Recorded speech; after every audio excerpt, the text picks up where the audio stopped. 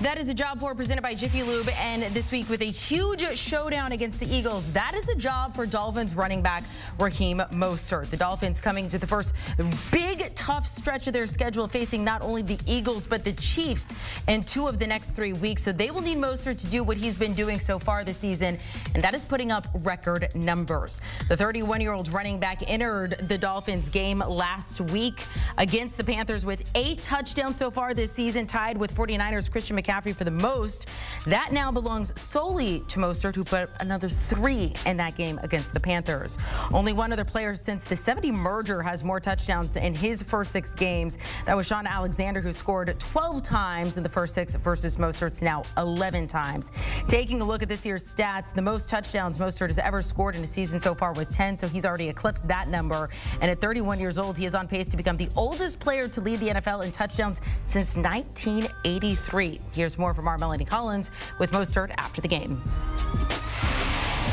Raheem, congratulations on the win. You guys started in a 14-0 hole today, but came back to score 42 and win this one. What did you see in the response from your team that you liked most? Uh, resilience. You know, these guys right here just, man, they when, it, when we're down, they they don't take anything for granted. We know what we got to do, especially on offense. You know, defense did their thing, a couple three and outs, and then you know they got got the lead early on. But all in all, you know, this this offense we're rolling, man, and and once we're rolling, it's hard to stop us, as you could tell. Sure is. Three touchdowns for you today. That's now 11 on the season. Not only a career high for you, but an NFL high. What were you seeing out there today, and what's been the key for you in this incredible start? I mean, first and foremost, of course, I always got to thank the O linemen, you know, um, and and even the skilled players. You know, we got Alec blocking on the end, and, and so do we. We have uh, Julian Hill. So I mean, it's a, a cumulative of guys that just going out here and doing their jobs on a day-to-day -day basis, and it's paying off for us, you know. And then I'm just I'm just finding holes at the end of the day and just trying to make a play.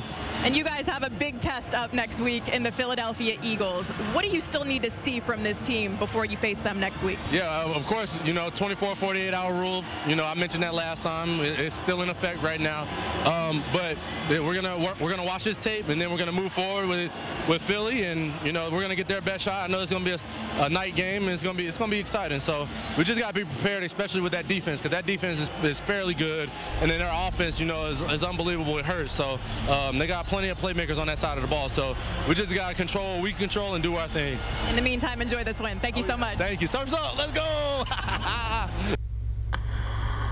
All smiles as he should be getting ready for week seven in the NFL. The NFL on CBS. Some of the games you can look forward to. Browns and Colts. Browns coming off that huge win, of course, against the 49ers. Colts still dealing with no Anthony Richardson, potentially out for the rest of the season. You can stream all those games on Paramount Plus or just watch them on CBS.